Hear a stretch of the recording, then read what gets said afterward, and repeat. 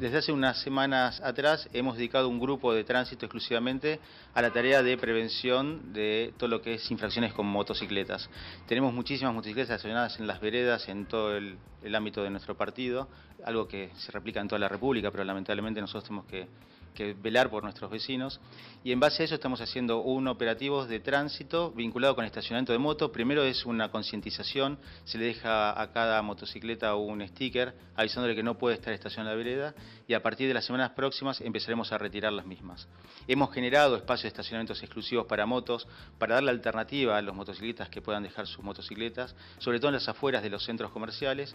Y bueno, eh, la idea es concientizar y generar, eh, y generar que bueno, se respeten las normas de tránsito. Hemos, hemos eh, incorporado un equipo, es una camioneta Ibeco de gran porte, que está ploteada y está bien señalizada para que los motociclistas también vean que se están realizando y los ciudadanos este tipo de controles y en base a eso, bueno, la prevención siempre es lo fundamental, ¿no? Solamente tengan presente que tenemos más de 100 motos en veredas en el centro comercial de San Isidro todos los días y es algo que tenemos mal estacionadas y es algo que tenemos que, que eliminar.